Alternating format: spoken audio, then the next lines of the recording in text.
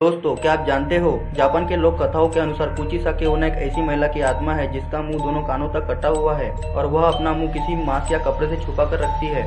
साथ ही अपने साथ चाकू, कैची जैसी धारदार चीज़ें भी रखती है। माना जाता है कि उसकी आत्मा सड़कों पर घूमती है और किसी अकेले इंसान के सामने जाकर पूछती है कि क्या वह सुंदर है। अगर इंसान नहीं कहेगा तो वह उस इंसान की हत्या कर देती थी। और इंसान हाँ कहता है तो वह अपना मास्क निकालकर अपना कटा हुआ चेहरा दिखाती है और उस इंसान से फिर वही सवाल करती है। इस बार इंसान नहीं कहता है तो वह आत्मा उसकी हत्या कर देती है। और अगर इंसान हाँ कहता है तो वह इंसान का मुँह अपने साथ रखे हुए तेज हथियार से अपनी तरह कान तक काट देती है। और आज भी इसकी देशी अभी भी जापान में बरकरार है।